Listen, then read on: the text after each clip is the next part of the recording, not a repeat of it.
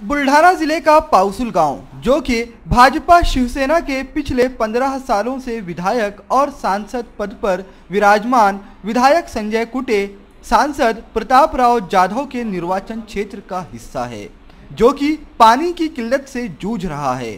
हज़ार लोगों की आबादी वाले इस गाँव के नागरिक पानी खरीद कर अपनी ज़रूरतें पूरी कर रहे हैं, जबकि इस गाँव से कुछ फुट की दूरी पर पूर्णा नदी है, जो कि सूख चुकी है।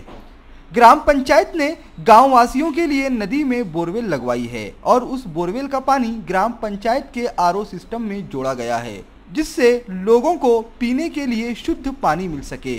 ग्राम पंचायत ने आरओ प्लांट के पास पानी का दाम फलक लगवाया है, जो कि कितने पैसे में कितना पानी मिलेगा यह दर्शाता है। लेकिन आरओ से आने वाले पानी की शुद्धता पर नागरिकों ने सवाल खड़े किए हैं।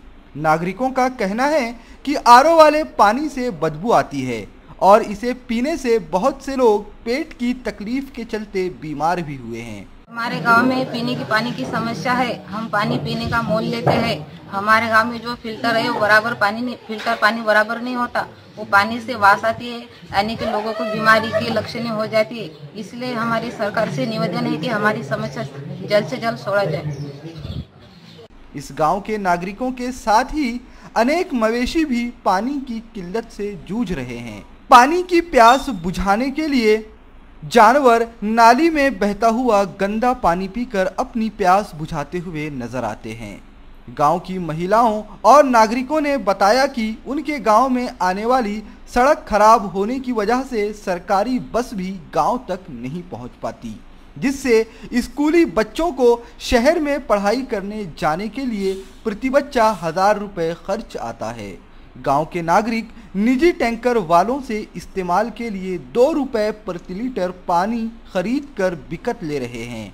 पानी की जो पानी का प्रॉब्लम है आर फ़िल्टर बैठा हुआ है, लेकिन उसका पानी अच्छा आता नहीं। करके हम बाहर गाँव से पानी लाते हैं, टैंकर वाले उससे बिकट पानी लेते हैं, पंद्रह रुपए में। जो तीस लीटर पानी लेकर पीते हैं, ऐसा हमको तीस रुपए का पानी रोज लगता है।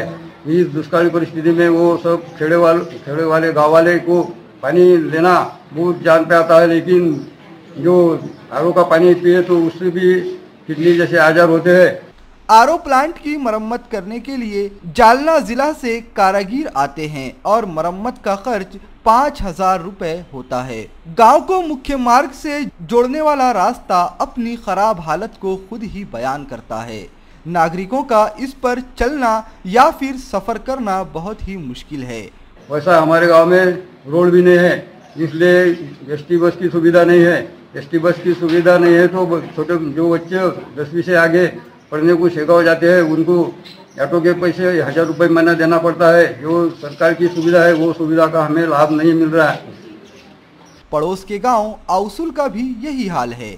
गाँव से 12 किलोमीटर दूरी पर शेगांव तहसील को बारी डैम से पानी आता है। उसी पाइपलाइन पर लगे बॉल से जो पानी बहता है, उसका उपयोग आसपास के ग्रामीण करते हैं और अपनी प्यास बुझाते हैं। पिछले दो सालों से पाउसुल और आउसुल गाँव पानी और मूलभूत सुविधाओं के मिलने का इंतज़ार कर रहे हैं। इस बीच सवाल यही खड़ा होता है कि आखिर आज़ादी के पैंसठ सालों से सांसद और आमदार तथा जिला प्रशासन के अधिकारियों ने व नेताओं ने क्या किया? वीसीएन न्यूज़ के लिए कैमरामैन समीर देशमुख के साथ महेंद्र मिश्रा बुल्ढाना शेगांव, आउसुल।